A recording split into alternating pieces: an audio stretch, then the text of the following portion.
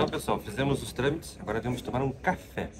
Vossa Excelência está arrumando aqui a documentação, ela é uma pessoa muito organizada. Vossa Excelência é um pulso de organização, não é mesmo? Vossa Excelência, como é que está aí a documentação? O que você está fazendo? Olhando os mix, eram 14, né? Veja como eles usam. Então, eles tiraram o mic que foi carimbado lá na, na, em.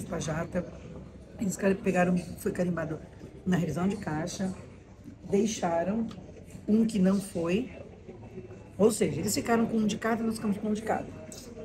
A nota fiscal, o, aqui já carimbaram, já assinaram o nosso diário de bordo. E aqui estamos com o nosso PDI, né? É o nosso passaporte.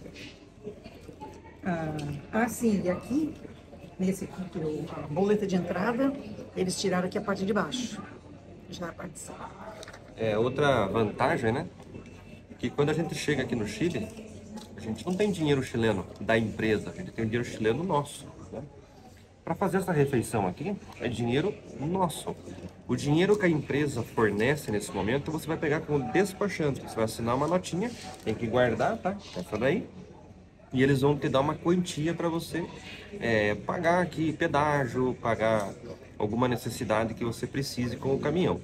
Depois você tem que fazer o acerto de viagens lá. Isso que tem que estar tudo muito organizado. Tem um vídeo meu falando sobre acerto. Deixa tudo separado. Eu tenho a vantagem e a sorte de ter Vossa Excelência Navegação e Produção junto comigo. É uma coisa de louco. Estamos tomando um cafezinho. Tá bom esse café, Excelência? Uma delícia. Essa média luna hoje, ó. No tipo, média luna, o que é média luna? É um croissant. Um croissantzinho doce. Eles adoram doce. Não tem salgado, né? Não tem. Nem pipoca, tá, pessoal? Você vai no centro, numa praça, quero comer pipoca salgada com bacon. Não tem. É só pipoca doce, tá? É, cafezinho tá bom? Uma delícia. Gostosinho? Bem bom. Olha o tamanhão. É um balde de café. É um baldão, aqui, ó. E eu peguei uma coquinha 600 com um doguinho, né? Que seria o nosso. É um enroladinho de salsicha. Nós de Curitiba falamos que era um enroladinho de vina. Mas vina só existe em Curitiba. É, esse cafezinho aqui, pessoal, saiu por 6 luca, ou 6 mil pesos chilenos, tá? É, quanto que dá 6 mil pesos chilenos? 32 reais. Então esse cafezinho saiu por 32 reais. Você acha que tá caro ou tá barato? Não, é o preço. É o preço, né? Acho que Curitiba também... Curitiba também o custo de vida é alto, tá, pessoal? Então é 32 reais. Para dois, tá?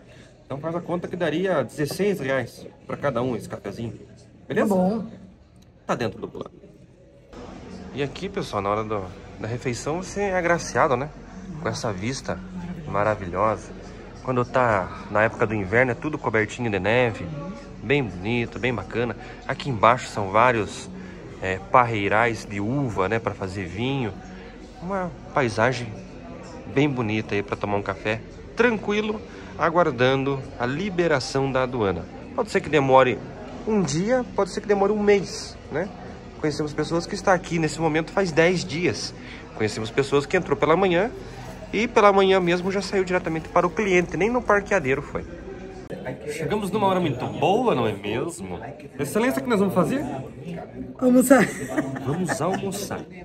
É, o almoço aqui no Chile, ele é bem diferente do que nós estamos acostumados no Brasil. No Brasil você vai lá, espeto corrido, prato feito, arroz, feijão, bife, ovo, batata frita. Aqui, como é que funciona, excelência? São super simples. Então, sempre tem salada, sempre tem salada, eles adoram repolho. Sempre vai ter repolho. Tanto na Argentina como aqui, eles adoram repolho. Então, tem a ensalada e uma proteína e um carboidrato. Então, pronto, é macarrão e carne. No caso aqui é cerdo, é porco. Pronto, é isso. Não tem farofa, não. São assim extremamente objetivos e. É, para você pagar sua refeição em efetivo, dinheiro, ou então em tarjeta, em crédito. Excelência? Isso, aqui não funciona a função débito, tá? É só crédito mesmo. E Pix não tem aqui, tá? Pix é uma exclusividade, acho que é só do Brasil, né? Brasil. Brasil acho que tem Pix só, né? Sim, só. Beleza. E o que que vem, excelência? Como é que fala as coisas? Então, é. Vossa Excelência é uma especialista não, na língua espanhola agora. Eu vou aprender da terceira vez, né? Que, como é que fala isso aqui, Excelência? A outra coisa que a gente esqueceu, né? Sempre tem pão. Sempre. Toda a refeição deles vai ter um pão. Então eles chamam de pan. Pan. Aí temos a, a cá, pasta. A carne de porco é cerdo, pode ser cerdo ou pode ser chancho. Ela explicou que aqui no Chile usa-se mais chancho. Mas não faz ensalada. Cara, melancia, eu não consegui decorar. Ela falou duas vezes, mas enfim. É um nome diferentão. É bem diferentão. E hoje tinha. E refrigerante e água com gás. É o que eles fornecem, tá? E aí pudim, você pode escolher. Mas assim, não foge muito disso, tá? Você sai daqui, você vai para um outro lugar. É basicamente a mesma coisa. É sempre uma proteína e um carboidrato. Não muda, tá? Isso é no café da manhã, isso é no almoço, isso é no jantar. É, não tem nada muito salgado. Não espere muito tempero nas coisas aqui, tá? Excelência. Eu tô aqui imaginando que ó, tem até uma cebola aqui. E um molhinho, porque ela tava com a carne. Um molho, então. Vamos ver, né? Se Seria ter um escabeche? Não, o escabeche seria se isso aqui fosse servido frio. Aí seria escabeche. Como tá quente, carne normal. Lembra que eu falei pra vocês ter a caixa de cozinha bem organizada?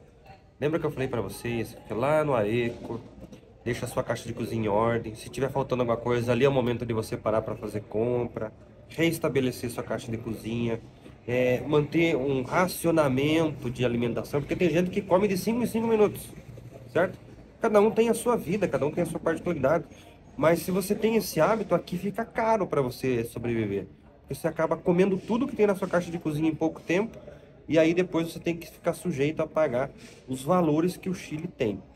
Lembra que eu falei para vocês que se tá caro na Argentina, no Chile tá pior?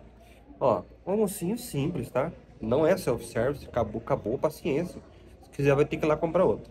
7.900, é, 7.800 pesos cada um. 18 mil, 714, 15 mil, 15 mil pesos chileno, certo? É, deu a nossa refeição. 15 luca, quanto que dá em real? 84 reais. 84 reais. Isso aqui, ó. Daria, seria 40, e- 84? 42? 42. 42 reais por pessoa, um prato. Com macarrão, carne de porco, um refrigerante, um pudim e uma salada. Tá no preço, excelência? Do Brasil ou tá caro? Assim, para o nosso, para os nossos valores, está caríssimo. Porque você veja, é só macarrão e carne. Lá numa churrascaria você paga 100, 120, até 150, vamos dizer assim. Mas é uma churrascaria, tem espeto, tem aquele monte de acompanhamento e tal. Aqui é só isso. Porém, para os valores deles aqui, para a realidade deles, isso aqui tá, tá, tá, tá bem, tá em dia. Assim, não tem marmitex aqui, tá? Chega ali, me dá uma marmita, me dá uma blindada que eu vou levar. Não faz, não tem marmita aqui, tá? Então, às vezes, vão assim, 44 reais. Uma marmita no Brasil, pô, você pega um marmitão, almoço e janta. Ou então dá pra você pegar a marmita para dois dias, bem tranquilo. 20, 25 reais uma marmita aí no Brasil você vai pagar. Né? Então, os valores de refeição aqui no, no Chile é, é fora da base, tá? E aí tem uma outra particularidade, né, Excelência? A relação do custo da comida com, outro, com outras coisas, por exemplo. Você veja aqui, tem o shoppingzinho e tal, tem amostra de perfume. Claro que não é o perfume original. É uma amostra. É um paraguaizinho. Um perfume custa 5 mil pesos. Veja, a refeição custou 7.800. Então você vê como, como que, como que muda a ótica deles. Como comida é caro aqui. A calça que você foi ver aquele dia, Sim, é, cu- eu não lembro mais o valor em peso, mas rever- convertendo era 52 reais. 52 uma calça de lã, ótima, assim, perfeita. Se eu voltar aqui no inverno, com certeza vou comprar. Mas entende? A, o- a realidade deles aqui é uma realidade muito diferente. ou seja, para comer é mais caro do que para você comprar as coisas para você mesmo. Então, por isso que você vê, às vezes, o chileno, ele às vezes tá, tá mal vestido, às vezes ele tá, é, não tá assim de acordo, apesar que eles são muito elegantes. Sim. São muito bem dotados, os caras são diferenciados. Mas assim, outra coisa que a gente não vê no Chile, tá? Ônibus. Você tá aqui na aduana, você quer ir pro centro, você não vai ver um ônibus passando aqui, tá? O ônibus que você vê passando aqui são das mineradoras, são para operários. Não tem ônibus circular aqui. Aqui é Uber, táxi ou então a camaradagem que você faz aí no, no network da sua vida. Exatamente. Então, assim, eles são um país que a comida é cara por quê? Porque eles não produzem nada. É tudo de fora. Talvez um gado, ovo, mas assim, tudo é de fora. Então, você imagina que a comida é um artigo de, de ouro, de luxo. Em contrapartida, outros itens como roupa, sapato, é, perfume, eu estava vendo ali um reloginho, queria ver um Apple Watch, é tudo muito barato. Então, uma discrepância, né? Discrepância. Outra particularidade, tá, pessoal? Água. Água no Chile tem que ser com gás, tá? Não toma água sem gás aqui não, tá? Por que, excelência? Não a procedência da água. Eles não têm água encanada. Pelo menos você não vê. Você vê água para chimarrão, tem água caliente, mas tá quente, né? Então, menos mal. Mas não vê que nem no Brasil, entendeu? Você vai lá, enche, não tem isso aqui. Você não vê filtro é, para tomar água. Você não vê bebedouros com filtro para se tomar água. Então você não sabe a qualidade, a procedência dessa água. Isso estamos falando para fazer comida, isso estamos falando para beber, para tomar banho, para lavar roupa. Então assim, água aqui no Chile use para tomar banho e use para lavação de roupa, lavação de louça. Para consumir em refeição, para consumir é, bebida mesmo, Cara, prefira a água com gás, tá? Para fazer a refeição, você vai filtrar ela, né? Então, filtrou.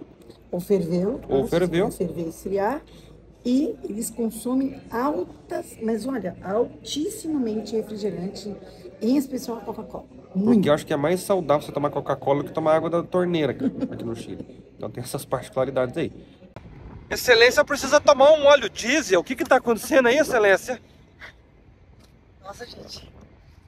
E olha que o almoço foi uma coisa bem tranquila, né, Mar? Eu subi muito rápido. Ai, meu Deus, mas tudo certo. E outra, a gente sempre esquece disso. Mas sempre que a gente está a mais de 2 mil metros de altura. Estão em conta.